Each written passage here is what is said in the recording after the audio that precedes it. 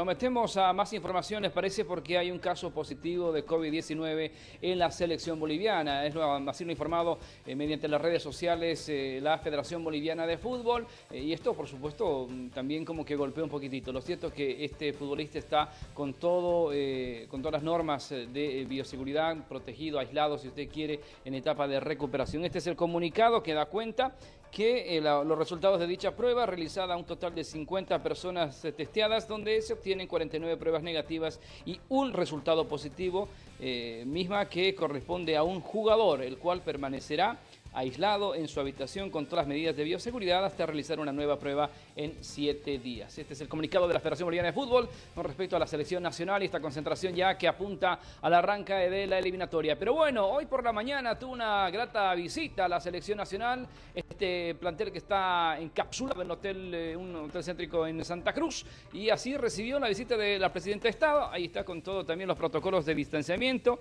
así saludó y dio un espaldarazo a los muchachos pensando en el arranque de la eliminatoria en octubre, el 9 frente a Brasil y el 13 frente a la selección argentina.